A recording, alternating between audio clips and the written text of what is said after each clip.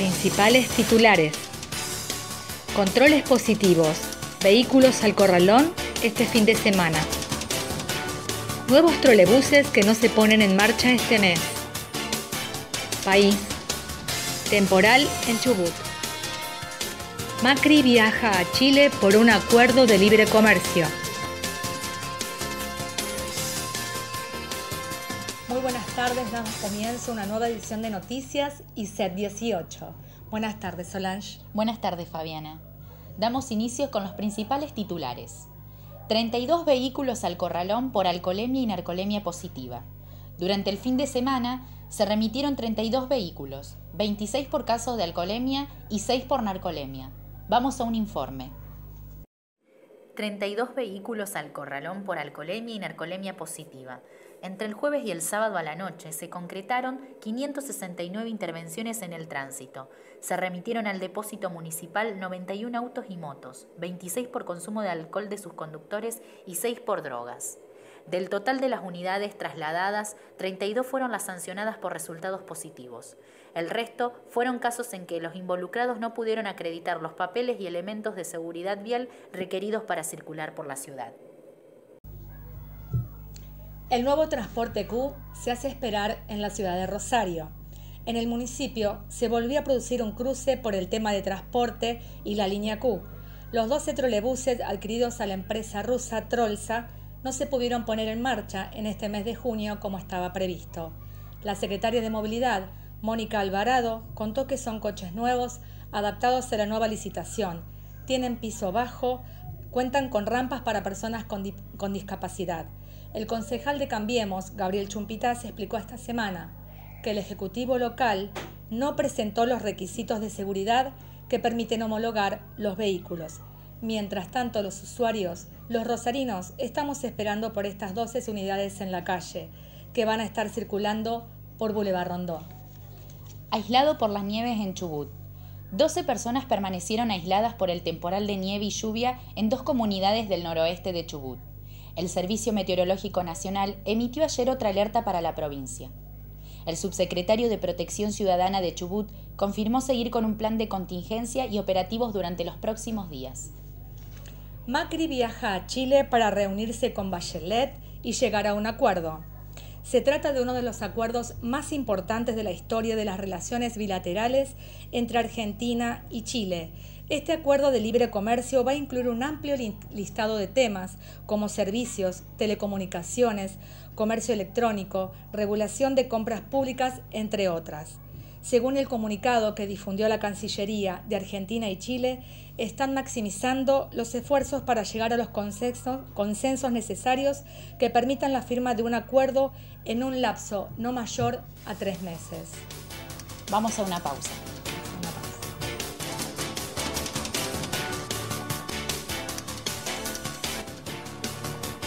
Comienza otro juicio contra Hugo Tognoli. El ex jefe de policía de Santa Fe, ya condenado por delitos similares, está acusado de complicidad y connivencia con supuestos narcos, los cuales también serán juzgados desde el día de hoy y por el término de unos tres meses. Hola, ¿qué tal? Muy pero muy buenos días. Estamos comenzando una nueva edición de ICEN Noticias cuando son las 12 y 5 pasadas del mediodía en un mediodía nublado con algunas lluvias ha comenzado la ciudad de Rosario, pero estamos como siempre para mantenerlos informados de todo. Buenos días Rafael, ¿cómo estás? Buenos días, Imanol. Nos metemos enseguida con la información de el juicio contra el ex jefe de policía Hugo Tognoli, ¿no es así? Así es, Imanol, en la cual eh, estará a cargo de Marcelo Velac eh, de acuerdo al, al Tribunal Oral Federal. Eh, se trata de una causa en la cual el excomisario está siendo procesado por encubrimiento a un narcotraficante de Villa Cañas, Andrés Ascaini. Vamos por más noticias. Encontraron precursores químicos y droga en un taller. Hay tres detenidos. Se realizaron tres allanamientos en la zona de French al 7100 por el material secuestrado investigan si en el lugar funcionaba una cocina de cocaína. Fueron arrestados tres hombres mayores de edad, los cuales quedaron a disposición de la justicia federal. Coto y Carrefour cerrarán este domingo y los siguientes. Los supermercados acatarán la medida de la Corte Suprema de la provincia que dispuso el cierre hasta que se defina si la ley de descanso dominical es constitucional o no. Una persecución policial terminó con dos muertos luego de un tiroteo. Tras una extensa persecución que se inició en el centro y terminó en el extremo sur de la ciudad, dos hombres que huían en un Volkswagen, después de chocar contra tres vehículos estacionados, murieron en un enfrentamiento con la policía. Abrió un spa atendido por personas con discapacidad. Es una iniciativa de la Fundación Segunda Etapa que realiza talleres con mujeres y hombres con capacidades diferentes. Invita a conocer el emprendimiento y a los interesados a sumarse para ampliar sus posibilidades laborales. Y nos metemos rápidamente con la noticia que comenzábamos el programa que tiene que ver con el juicio que se ha iniciado nuevamente al ex jefe de policías Hugo Tognoli. Como se sabe, Hugo Damián Tognoli fue el jefe de la división antinarcóticos durante el gobierno santafesino de Hermes Wiener. Además, fue ascendido como jefe de policías durante el mandato de Antonio Bonfatti ya fue condenado por delitos a seis años el año pasado en un juicio oral que se desarrolló en la ciudad de Santa Fe. El fiscal Mario Gambacorta indicó que existía una protección por el, por el ex comisario Tognoli y otros ex altos funcionarios policiales. Andrés Ascaini era apuntado como el jefe de una organización dedicada a la comercialización de drogas. La tarea que los ex policías realizaban con él consistían no solo en liberarle la zona para que produzcan los delitos, sino también le facilitaban información que le permitían evadir la persecución de la policía de seguridad aeroportuaria. Así es, como bien decía mi compañero Rafael, entre algunas de las pruebas que se encuentra acusado Ascaini figura la llamada a la sección de la policía de Villa Cañas para preguntar sobre un vehículo blanco que lo perseguía. Otro de los implicados en esta causa es Néstor Fernández, que por entonces era jefe de la Brigada Operativa Departamental número 8 y tenía acceso a la base de datos del Registro Nacional de Propiedad del Automotor.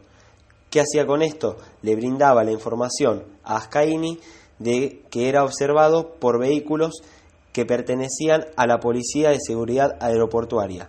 Con esta información, Ascaini iba un paso adelante de la policía y podía evitar los operativos y los autos que lo perseguían. Veremos qué es lo que dispone la justicia durante este procesamiento al excomisario.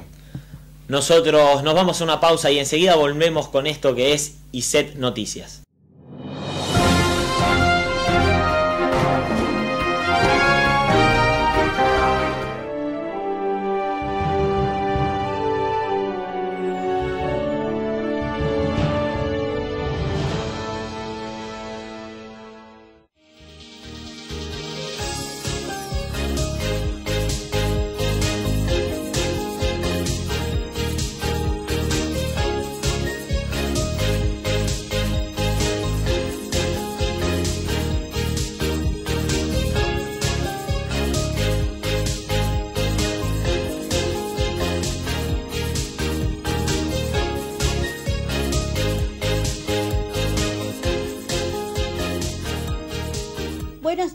Estamos una vez más con nuestro programa semanal CNI. Buenos días, Jorge, ¿cómo estás? Muy buenos días, Patricia. Muy bien, gracias. Damos comienzos a los titulares de hoy. Educación convocó a padres que denunciaron bullying en su hijo.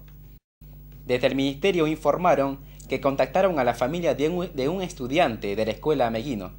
Fue tras una volanteada en la puerta de la escuela para dar a conocer el caso del chico.